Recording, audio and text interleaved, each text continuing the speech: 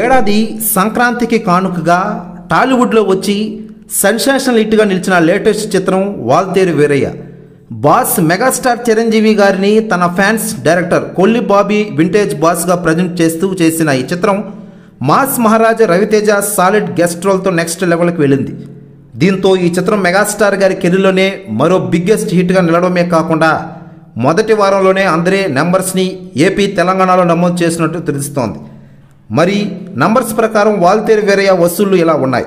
నైజాంలో ఇరవై ఆరు పాయింట్ ఐదు కోట్లు సీడెడ్లో పద్నాలుగు కోట్లు ఆంధ్రాలో ముప్పై తొమ్మిది పాయింట్ ఎనిమిది కోట్ల షేర్ జస్ట్ మొదటి వారంలోనే వాల్తేరు వీరయ్య అందుకుంది. దీంతో ఈ ఏడు రోజుల్లో తెలుగు స్టేట్స్ నుంచి ఈ చిత్రం సుమారు ఎనభై కోట్ల మేర షేర్ని రాబట్టేసి సెషేషన్కి నమోదు చేసింది.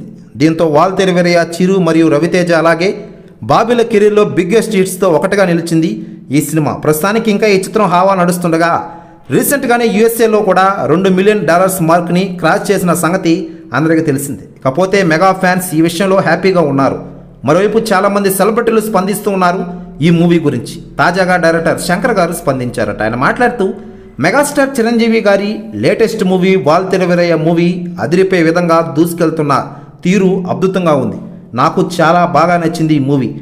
మెగా మాస్ లుక్లో చిరంజీవి గారు అదరగొట్టేశాడని చెప్పాలి అంటారట డైరెక్టర్ శంకర్ గారు. కాకపోతే ఈ చిత్రంలో శృతి హాసన్ మరియు క్యాథరిన్లు హీరోయిన్స్గా నటించగా దేవిశ్రీ ప్రసాద్ సంగీతం అందించారు. అలాగే మైత్రి మూవీ మేకర్స్ నిర్మాణం వహించిన సంగతి అందరికీ తెలిసిందే.